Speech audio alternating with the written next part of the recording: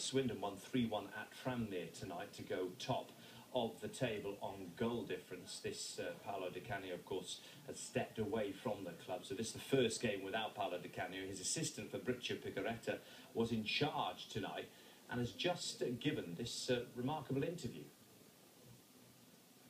This game uh, is uh, this achievement is a Paolo Di Canio achievement.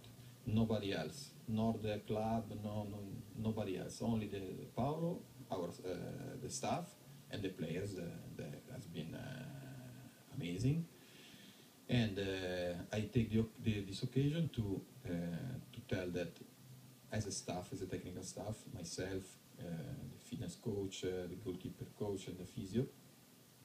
tomorrow morning we we resign because we are here thanks to Paolo, and uh, we don't uh, want to stay here uh, one minute more than him, only for today because it was crucial to be here for the players. But since tomorrow morning we are not no, anymore Swindon Town staff, and I don't know what's going on in the future, but I I can only say thank you to the, the fans uh, uh, Paolo will have the occasion to do the same. Uh, has been a strange but fantastic year so far, and I can say that Paolo Di and his staff leave Swindon Town top of the league in League One. That is a fantastic achievement that uh, nobody could expect, uh, uh, I think, since the beginning.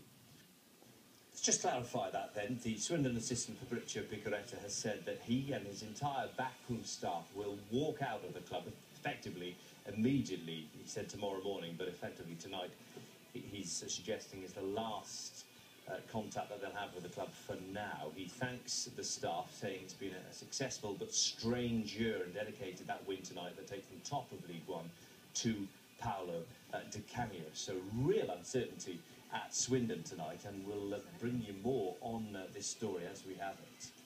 The next, how Fernando.